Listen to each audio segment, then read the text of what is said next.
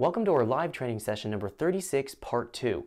In this video, we're gonna take a look at getting our engine fired up and doing our idle and part throttle fuel and ignition timing tuning. We're gonna have a lot of things to cover, so let's jump into our live training session so we can get started.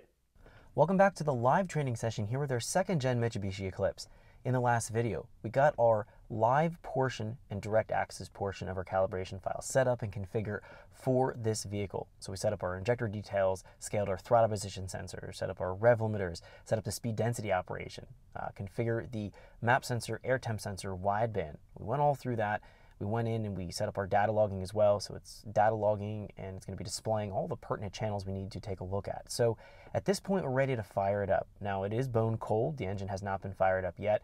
It's been sitting here for several days. So I don't know how it's going to be when it starts up. It might start up and die. It might start up and idle perfectly. We're going to have to find out. So it's going to be uh, kind of part of the tuning process. We're going to be taking it as it comes and then uh, going in and making our adjustments. Now, a couple things we're going to be paying attention in this video specifically looking at the idle, making sure that's set up, making sure the idle and part throttle, fuel, and spark timing are going to be optimized. And a lot of what we're going to be doing is looking at the combined fuel trim and doing some driving sweeps to the table, collecting our data, and then going back in and making adjustments based on what the data is showing us.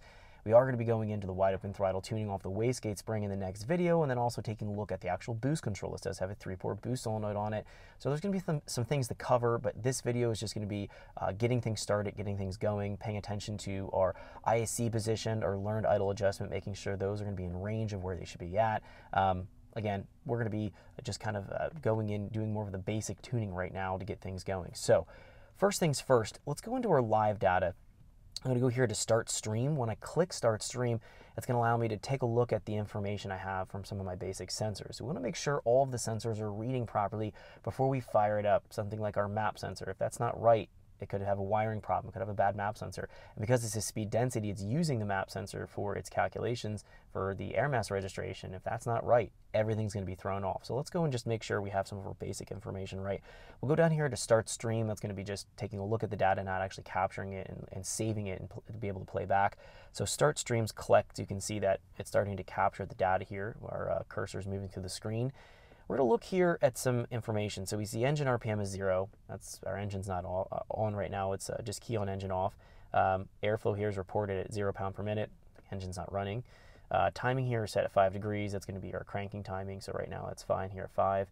Coolant temperature, 61 degrees. In the dyno bay right now, it's showing 62 in my dyno, so very close. Uh, next, we have our GM IAT sensor. This is going to be showing 61 degrees, so they're matching, and that's because uh, the calibration is right. So we know that we've selected the correct calibration for the sensor that we're using for the air temp sensor, and they should be calibrated um, within one or two degrees of each other, so that looks good. Throttle position in the last video, we went and did that calibration with the uh, capturing for 0 and 100% throttle, and then we did our TPS adjust right from our screen right here. Let's go back and just double check that, make sure that's still good. So 0, I'm off the throttle all the way on the throttle here 100, back off 0, so that looks good.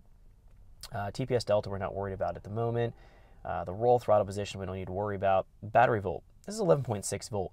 This is just getting to the point I might be concerned with the battery voltage. I'm going to leave it alone. I'm not going to be putting on a charger. However, if this starts to drop much below about 11.6, 11.5, probably put it on a charger before you start it. It's going to be a low battery condition. So I'll leave it as is.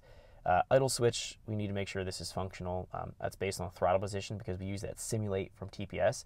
So if I give it a little throttle, this will go to zero. We see our throttle positions reading, get off the throttle, go back to one. That all works. Airflow per rev and, uh, well, take a look here, airflow per rev and the SD airflow per rev. They're kind of similar channels. We're going to be paying attention to what the airflow per rev here is reading. The airflow, airflow per rev when it's actually running and this SD airflow per rev are going to be matching very, very close. Um, Thanks for checking out our teaser clip. If you want to see the rest of this video and more than 500 hours of current EFI training we have to offer, make sure you click right here. If you want to go and check out more teaser clips from this training course, click here. And you don't want to miss any of the videos we're going to be releasing on this channel, so make sure you subscribe and click here. Thanks for watching, and I'll see you guys later.